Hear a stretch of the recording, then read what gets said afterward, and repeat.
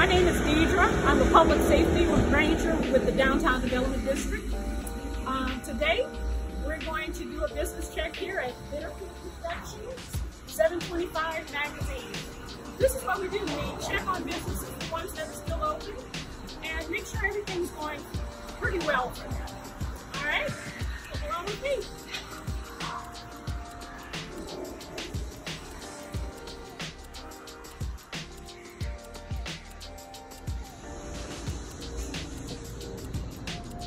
We are doing homeless outreach today.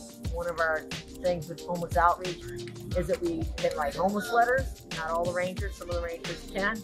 What we do with this is we usually write letters for people that we have seen, like when we came out early this morning, we saw where they were sleeping, or maybe at night when we're here, we see where they're living.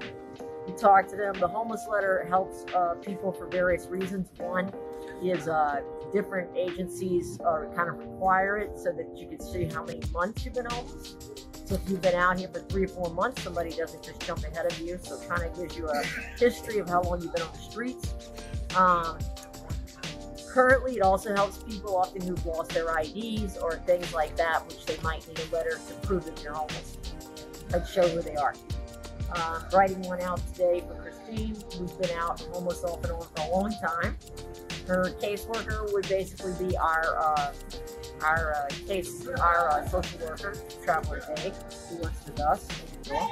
If not, I would try to get the caseworker's name and see if I could connect them. Um, Angela is also filing all of these by the person's date of birth, so if they lose this piece of paper, uh, it is recorded for different agencies and times. Okay, so this is, I'll show you what a blank one looks like. So if you can see here, we put today's date, we put uh, the person's name, where we witnessed seeing them being homeless, basically. Uh, how long have we known them to be out here? Uh, things like that. What's the location? Where do they usually stay during the day? In case anybody, like Angela or somebody doing outreach, wants to connect with them, might be good to know where they're at. So, like, say maybe they slept in Duncan Plaza, but during the day they work for Domino's Pizza. Would put all of that down. Then we sign our names and our ranger number. Uh, there's a number here in case anybody wants to call and verify anything.